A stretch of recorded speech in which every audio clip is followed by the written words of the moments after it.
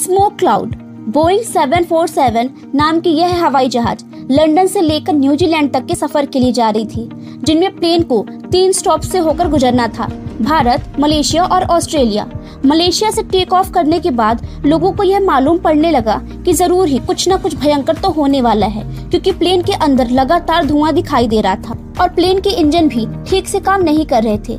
Pilot को plane के सामने एक अजीब सी चमक दिखाई दे रही थी। ऐसा तभी होता है जब प्लेन किसी तूफ़ान से टकरा जाए, लेकिन वहाँ पर दूर दूर तक किसी भी तूफ़ान के होने का कोई भी दृश्य दिखाई नहीं दे रहा था।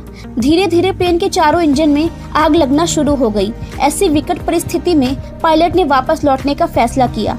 बहुत ही डरे और सहमे हुए पैसेंजर्स को एक अच्छी खबर यह मिली कि प्लेन का एक इंजन अभी भी काम कर रहा है और धीरे धीरे बाकी के तीन इंजन भी काम करना शुरू हो रहे हैं। आखिर में यह प्लेन इंडोनेशिया में लैंड हो गया। बाद में जाँच करने पर पता चला कि ज्वालामुखी में हुए विस्फोट के कारण एक अजीब सी चमक दिखाई दी और जो राख हवा में फैल गई थी, उसी के कारण प्लेन के अंदर धुआँ दिखाई दे रहा था।